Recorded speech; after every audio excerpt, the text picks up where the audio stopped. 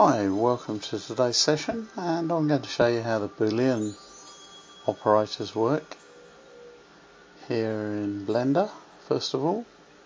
We'll start by drawing a cube and scaling it up a bit. And then we're going to modify that cube using a monkey.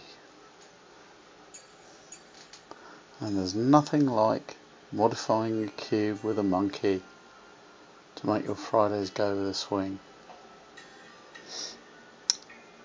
Okay, well the Boolean operators come in three different flavours. There's intersect, union and difference. And what intersect does is everywhere the two objects are present together is an object. Where they're not present together is nothing. What uh, difference does is it subtracts one object from the other, leaving in this case a monkey shaped hole as we will see later on. And what union does is it adds. So it'll add one object to another. Now because this process works better on a, something with a lot of vertices I'm just going to subdivide that cube a few times.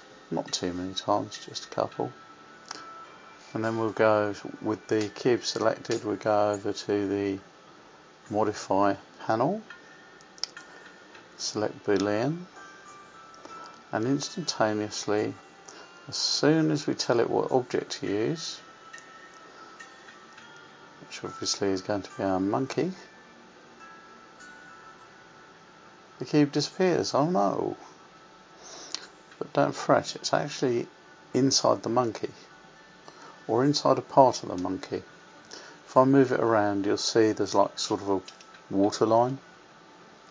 So if I move it up and down you can see and if I was if I apply that modifier which I'm going to in a minute then what you'll get is part of a monkey and of course the original monkey will still be left.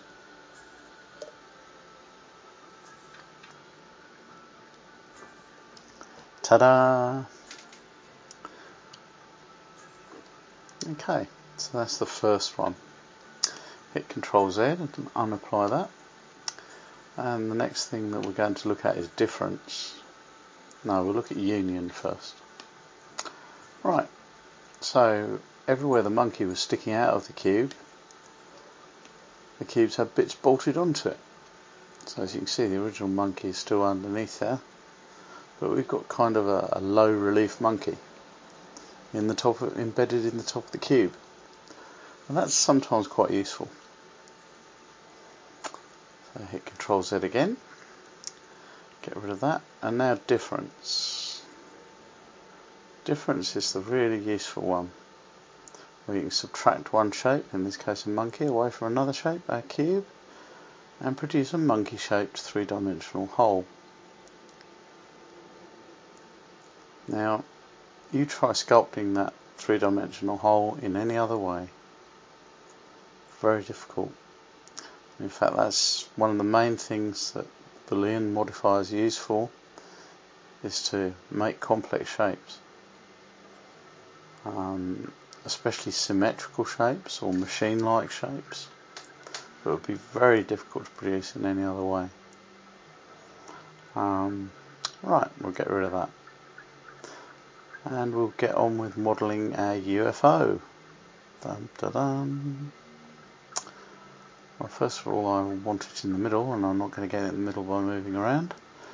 So we'll uh, sort of kind of um, hmm, okay. We'll scale it up and flatten it. It's probably the best thing to do. I'm going to make quite a big ball. Then I'm going to use the blue handle and flatten it right the way down. Most of the way down anyway. There we go. Now the easiest thing is to, is to put it in the center because obviously if we put it in the center and we put the um, cursor in the center as well then when we add something like another ball so uh, it will be superimposed exactly over the center line. So snap the cursor to the center and snap the um, sort of minstrel shape we've just um, created into the onto the cursor. Right, so there's a ball in there somewhere. I've just added. Let's scale that up.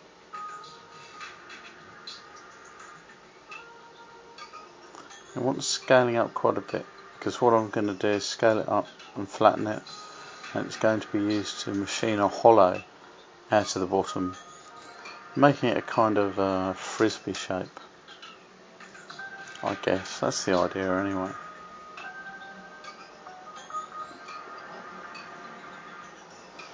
Now I only want this hole I want this sort of spherical hole cut in the bottom not in the top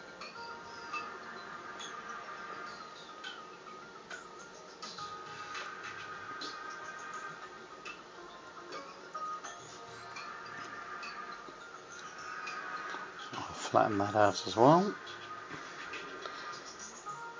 Push it up inside. Select our original shape and apply.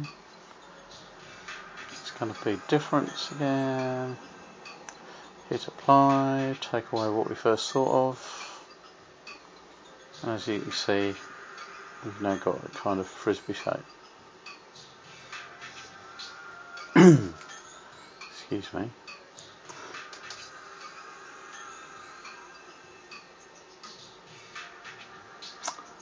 Right. Next thing, we'll add a cylinder. And what I'm going to make is kind of a cylinder, cylindrical body to the ship that goes through the middle, but vertically through the middle. I don't know, you remember the old Adamski pictures of UFOs? Yep. So using the same technique of snapping to the centre again and scaling it up. So this is going to kind of have a flattened out Adamski cabin but the entire top is going to be glass.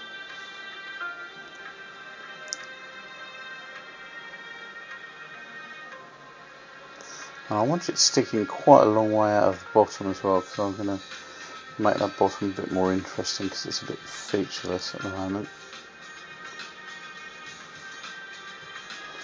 There we go, and this time it's union because we're adding the two shapes together. There you go. There's nothing up my sleeve. And voila, the original cylinder get rid of that.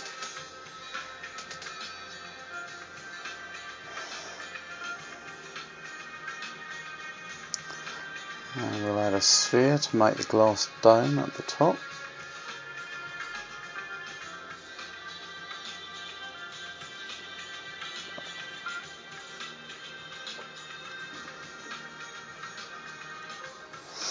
We want it to be a little bit inside so we've got kind of a bit of ridge.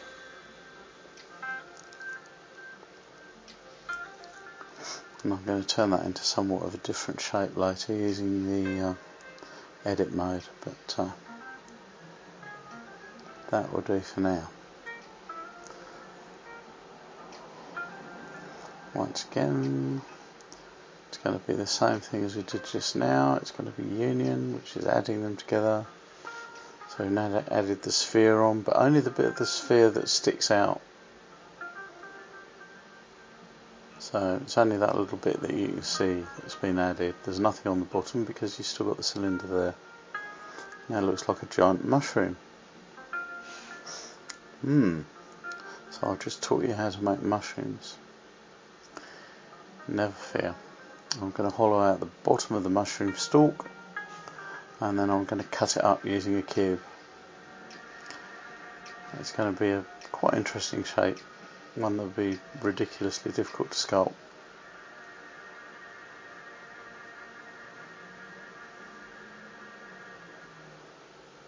So select our mushroom, select the sphere, this time we want difference. So this we're cutting using the sphere to cut a half spherical hole out of the bottom of the cylindrical bit there. There you go. Now you think for a minute how complicated that shape is and how quickly we've done it. So far this has been made in what, three minutes, four minutes, I don't know, something like that. If I wasn't talking to you it would probably be even quicker.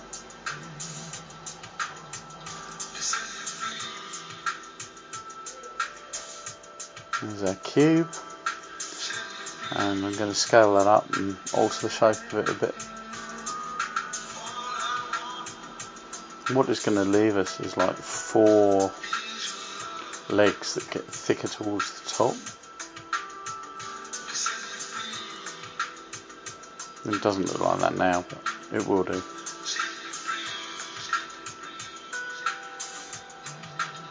Now we're going to edit and change the shape of our cube simply by scaling the top.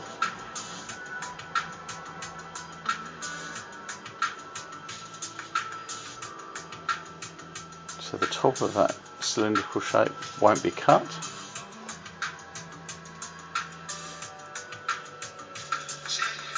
And remember the whole of this is a hollow mesh at the moment. It's not, you know, just a collection of cylinders and stuff warped together using join it is actually all one mesh.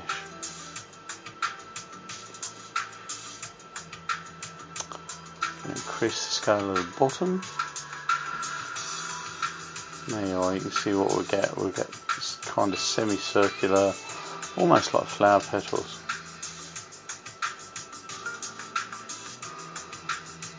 I want them longer than that.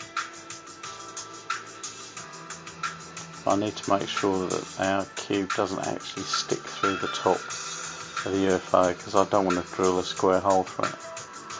That would totally spoil the effect. Alright.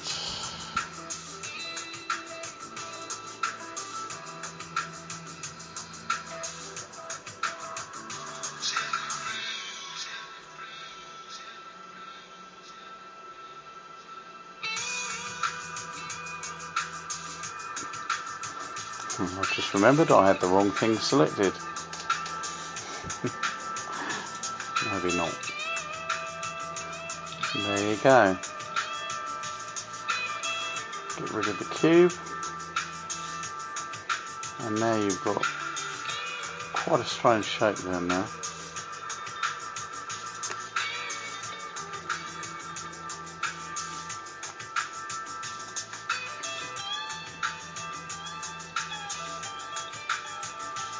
see it's a UFO, it spins all over the place. All you have to do now is add some materials and some textures and we can do a quick animation.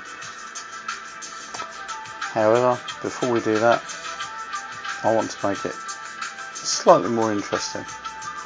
the top really is pretty pedestrian. Um, and I think at the moment the proportions of it are, too, are wrong as well needs to be flatter.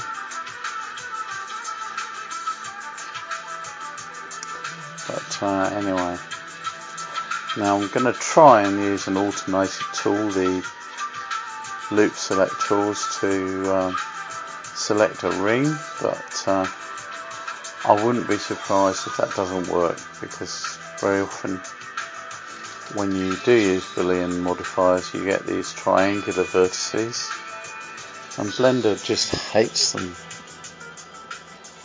Really hates these triangular vertices and it just won't have anything to do with them.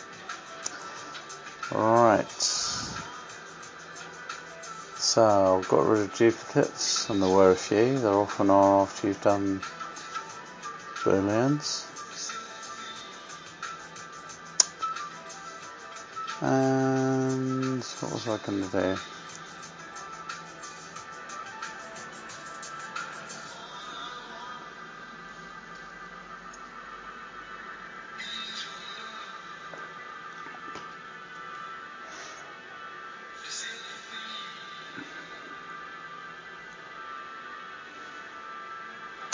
There it is.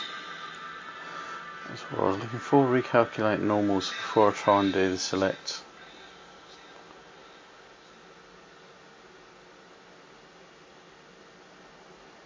Hit the A key to deselect everything. And select a couple of points and try for an edge loop. Mm, nah, it's not going to work, is it? Let's just give it a good old college try once more. Nah. Okay, I'm going to have to go around and select that ring of vertices manually. It's only 32 of them. That may only take me a few seconds. It's one of those painful things that sometimes on some shapes the automated tools don't work too well because they just can't tell what the hell's going on.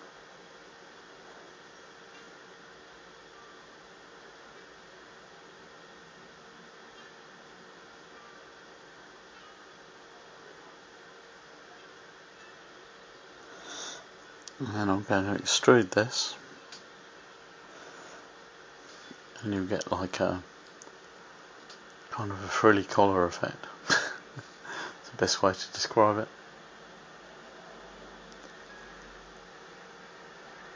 There we go. It just extrudes into a plane.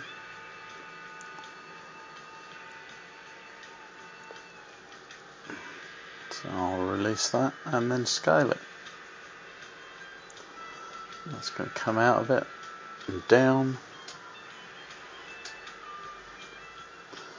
And I just want to make this a more interesting shape. So that plane has come out and up and then down. Because very often if you just plonk something like uh, that dome in the middle of something, then it doesn't look right because you're kind of expecting to see some kind of frame or support structure around it. That's exactly what we're making here.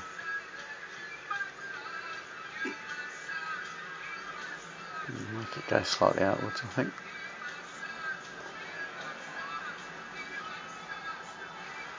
Something like that. And just make sure that the vertices actually go through the planes. Yeah, that's much better. I like that. So I was saying just a few materials and textures and animate a quick scene. And that's exactly what I'm going to do. I'm just going to adjust the shape of it a bit. That's a bit better. Yeah, I can just see that whizzing through the sky. And in fact you're going to see it whizzing through the sky now. I even put a few little things that look a bit like people inside there. So that's how you quickly build a UFO.